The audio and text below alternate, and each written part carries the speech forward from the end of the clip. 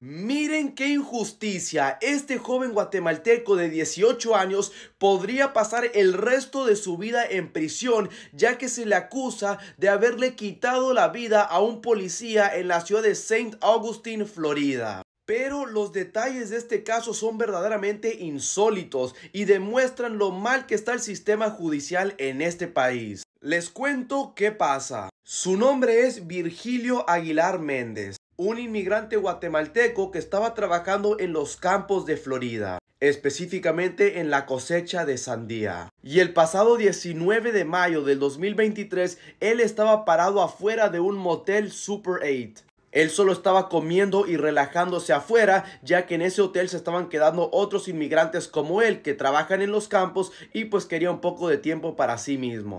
Pero luego llegó un oficial de policía quien comenzó a cuestionar a Virgilio diciendo que él se veía sospechoso. Pero Virgilio, quien no habla inglés, le dijo al oficial que no entendía nada. Pero el oficial en vez de comprender se frustró e intentó arrestar a Virgilio. Y Virgilio, que no tenía la menor idea qué estaba pasando o por qué lo estaban arrestando, comenzó a paniquear. Y en ese momento no se quiso dejar arrestar injustamente, por lo cual el policía comenzó a forcejear con él. Pero luego eventualmente llegaron más policías y lograron arrestar a Virgilio. Aunque fue un arresto totalmente incorrecto, ya que a Virgilio no se le acusaba de nada porque no había hecho nada. Eso dicho, las cosas se complicaron aún más para Virgilio cuando el policía quien lo arrestó, Michael Kunavich, comenzó a sentir dolor en el pecho unos minutos después de haber arrestado a Virgilio. Y ese dolor resultó ser un ataque de corazón y perdió la vida. Y aunque eventualmente salió a la luz que el policía ya tenía problemas de salud y de corazón,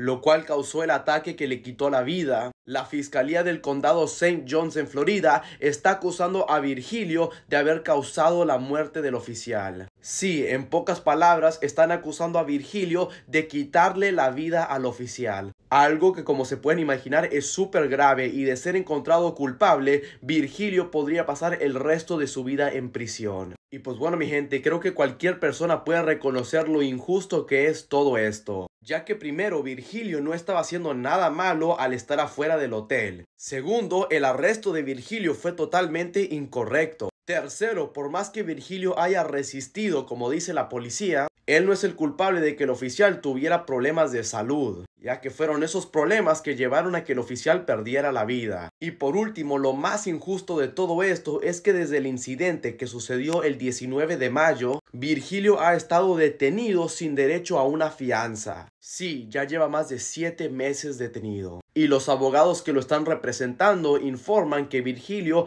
aún no entiende todo lo que está pasando ya que además de no conocer el sistema legal de Estados Unidos y no entender el inglés, tampoco entiende mucho español, por lo cual ha sido difícil buscarle traductor, ya que el idioma principal de Virgilio es el MAM, un idioma indígena de Guatemala, y casi no hay traductores ni abogados que entienden el MAM por lo cual ha sido muy difícil comunicarse con Virgilio y ayudarle a entender todo lo que está sucediendo. Eso dicho mi gente, es una situación que me parte el corazón y creo que debería estar recibiendo mucho más atención de la que actualmente le están dando, ya que sin duda alguna es una de las peores injusticias que he visto en mucho tiempo. Pero bueno, mi gente, todo eso dicho, si alguien conoce a la familia de Virgilio o a gente cercana a él, por favor déjenme saber. Quiero ver si hay alguna manera que lo podamos ayudar a él y a su familia en estos momentos tan difíciles, ya que estos son los tipos de casos que merecen nuestro apoyo. Pero bueno, mi gente, déjenme saber qué opinan ustedes sobre esta situación y por favor difundan para que todos conozcan la historia de Virgilio. No nos podemos quedar callados hasta que haya justicia. Pero bueno, mi gente, mientras tanto, cuídense mucho y que Dios los bendiga.